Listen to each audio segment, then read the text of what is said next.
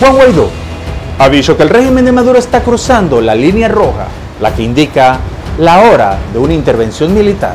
El presidente Juan Guaidó estaría por aprobar una intervención militar en suelo venezolano, quizás a través del TIA, el Tratado Interamericano de Asistencia Recíproca. La necesidad de eso es evidente. La línea roja básicamente ya se pasó. Juan Guaidó habló sobre la alternativa militar y dijo que siempre están anuentes y que la decisión de ese llamamiento militar se podría evaluar en las siguientes horas. La línea roja se pasó hace mucho tiempo. De ser necesario, los aliados van a tener que cooperar. Se habla también sobre la responsabilidad de proteger el RP2, que permite a países aliados ayudar militarmente al gobierno de Venezuela, en este caso a Juan Guaidó.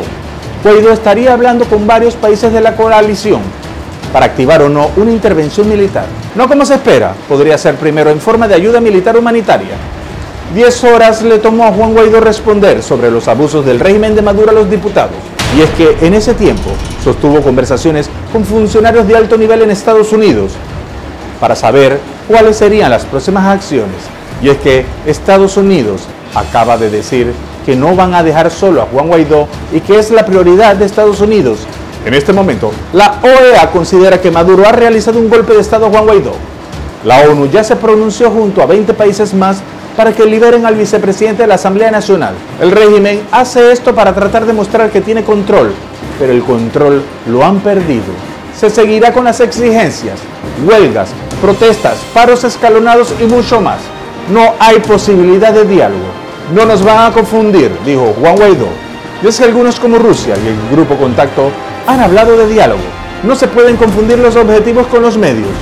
Se da como un hecho que seguirá la escala represiva del régimen.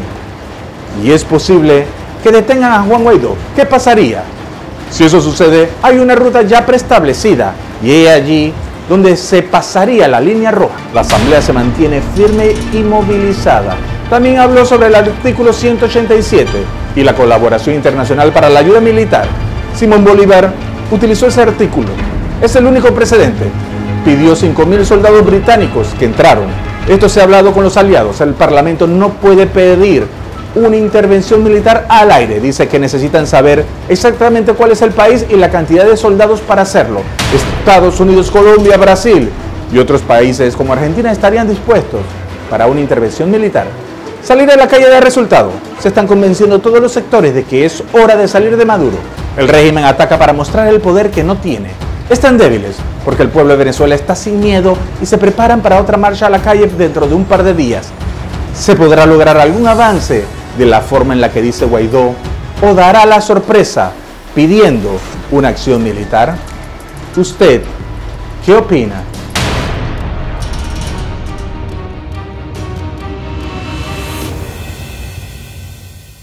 Tus comentarios y recuerda suscribirte a nuestro canal.